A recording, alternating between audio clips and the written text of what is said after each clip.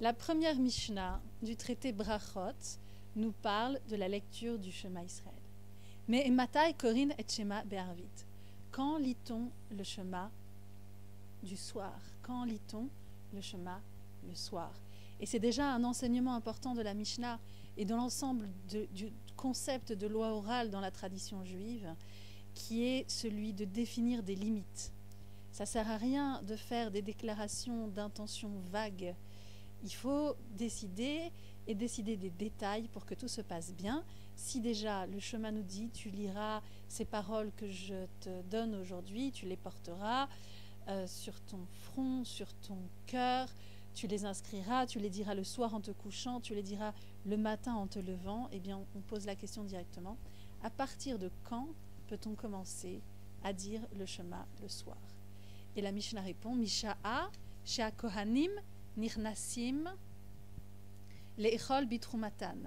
À partir de l'heure où les Kohanim rentrent dans le temple pour manger les offrandes qui leur sont faites.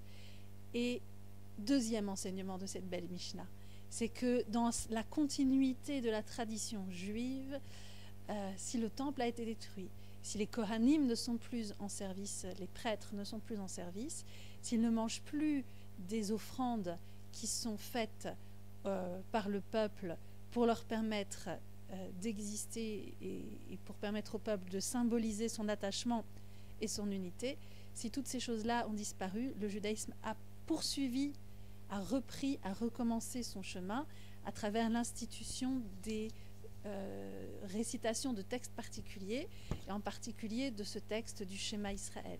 À partir du moment où les prêtres mangent de la trouma, à partir de ce moment-là, alors c'est le moment où on dit le chemin Israël le soir. Et jusqu'à quand peut-on dire le chemin Israël le soir? Ad sof ha'ashmura harishona. Jusqu'à la fin de la première garde. Jusqu'à la fin de la première garde, alors tel est le moment de lire le chemin Israël. Et qui dit ça? Dit vrai Rabbi Eliezer.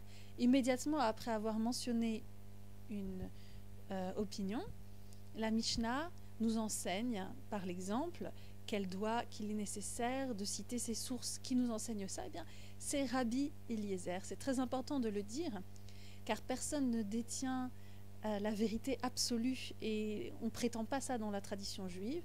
C'est complètement hérétique de prétendre détenir l'exclusivité euh, de la justice, de la vérité. Et la Mishnah nous l'enseigne en citant immédiatement le rabbin qui, euh, émet cette opinion de halacha. Euh, c'est ce qu'on apprend aussi dans Pirkei Avot à propos du livre d'Esther, de la Megillah d'Esther.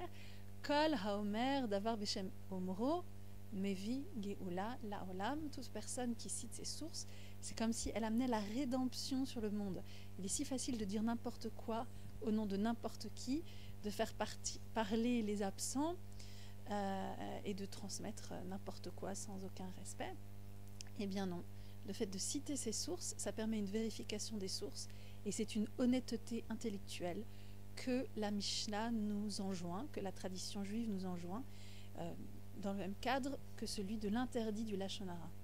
Et on poursuit. Verachamim omrim, et les sages disent, nous voyons ici que on a rapporté l'opinion de Rabbi Eliezer en premier, et qu'on rapporte maintenant l'opinion de l'ensemble des sages, lorsque la Mishnah dit Chachamim Omrim, elle nous signifie par là qu'il s'agit de non seulement de l'opinion majoritaire, mais de l'opinion sur laquelle la halacha, le droit positif juif, s'est fixé. Et les sages nous disent, en faisant cela, euh, la Mishnah nous enseigne donc qu'il peut y avoir plusieurs opinions et qu'il faut respecter les opinions minoritaires, qu'il faut les citer et qu'il faut les citer euh, même peut-être en premier, comme le fait la Mishnah avec l'opinion de Rabbi Eliezer, ce qui n'empêche pas de mentionner également, évidemment, et de souligner l'importance de l'opinion majoritaire, de celle qui a donné naissance à la réalité halachique. Les sages disent ad chatzot jusqu'à minuit. Les sages disent que on a plus de temps que ça pour dire le pour dire le chemin euh, du soir, qu'on peut le dire, jusqu'à minuit, que on a un petit peu plus de temps. C'est une opinion un petit peu plus souple. Voilà ce que nous enseigne le début, on n'a pas fini, on reprendra plus tard, le début de cette euh, Mishnah Brachot, quelques enseignements pour la vie d'aujourd'hui, à partir de cette Mishnah, euh, compilée au deuxième siècle euh, de l'ère commune, à partir de matériel beaucoup plus ancien. Et voilà, à très bientôt.